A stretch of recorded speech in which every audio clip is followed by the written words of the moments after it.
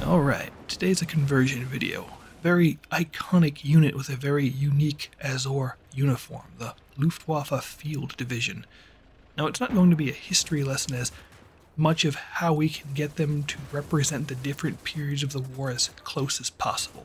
Warlord does sell a metal 10 man squad. I wasn't exactly blown away by the quality, and my natural aversion to metal minis has brought me to converting to plastic kits. Soldiers that made up these units were airmen who performed ground duties for the German Air Force, mostly rearward force that is shown in the rules as being green or inexperienced.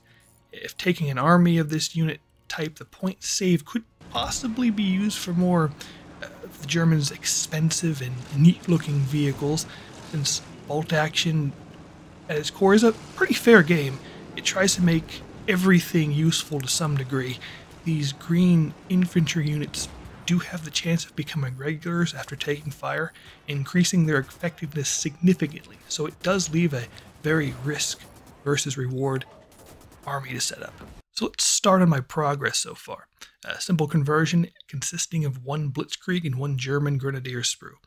I do generally mix in some SS Africa Corps heads as they have some unique character to them, going for the 1943 vibe at the height of their semi independence before full integration into the Heer. On the colors, it might be a thought to shave off the Heer insignias as freehanding some Luftwaffe airman wings might add some extra character. The Blitzkrieg sprue is modeled after the M36 uniform, and if you squint, you could make it pass for an M40.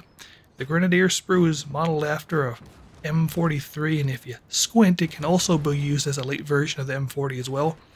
The Zeltbahn covered bodies add a nice touch as these fellows did find out very fast loud blue on a battlefield was not the hottest idea at this point in history. The first Luftwaffe Field Division came out at the tail end of 1942. Uh, the airmen did have duties on their airfields prior to that. We could get away with using the Blitzkrieg sprues for a full squad. We could equally use a full squad of Grenadier sprue to show the late 1943 and on when they were integrated into the Heer and turned into Grenadier formations. Even after said integration, they still did wear some of their blue uniforms, so we could convert them through paint schemes further by having some field green jackets, maybe some field blue pants, or vice versa to make them stand out on the tabletop even more. The useful bit about this conversion is we don't have to use them just as their Luftwaffe stat profile in the game. We can use them as Atlantic Wall Defenders, Volksgrenadiers, have them represent German defense of a commando raid on an airfield, more narrative player could build a story around their squad, fending off an SAS raid in North Africa, taking place in some East Front actions before being placed on the Atlantic Wall at D Day, then fighting through the ruins of Berlin. I would encourage players to be creative and make alterations to their force. I find when I do conversion, I feel a special degree of fondness to the models that enhances my own hobby experience. And people really pick up on that vibe, making it a more enjoyable thing for everyone, as well as bringing new people into the fold. I think that's it for right now.